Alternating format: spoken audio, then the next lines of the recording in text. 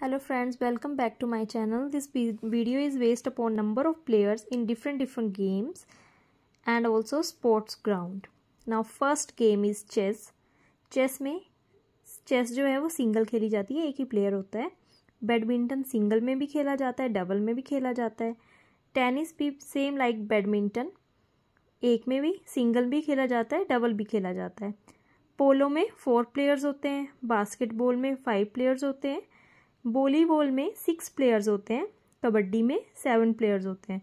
Gymnastic जो होता है, उसमें जैसे आप तीरबाजी है, स्विमिंग है, उसको प्लेयर ना इंडिविजुअल खेलते हैं। खो खो में नाइन प्लेयर्स होते हैं, बेसबॉल में भी नाइन प्लेयर्स होते हैं, cricket, hockey, football.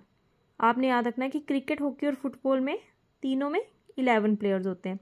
Rugby, football में फिफ्टीन प्लेयर्स होते हैं। Now sports ground. Sports ground में बेसबॉल है। उसका जो ग्राउंड होता है जहाँ बेसबॉल खेली जाती है, वो डायमंड ठीक है?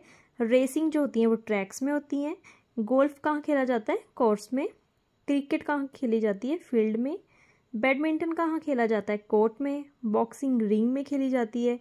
फुटबॉल फ़ील्ड में खेला जाता है। स्केटिंग रिंग में की जाती है। हॉकी फ़ील्ड में खेली जाती है। एंड स्विमिंग पूल में की जाती है। तो फ़ील्ड में हमारे पास हॉकी, फुटबॉल एंड क्रिकेट। इनके प्लेयर्स भी सेम ही हैं, इलेवन, एंड ये खेली भी फ़ील्ड में जाती हैं।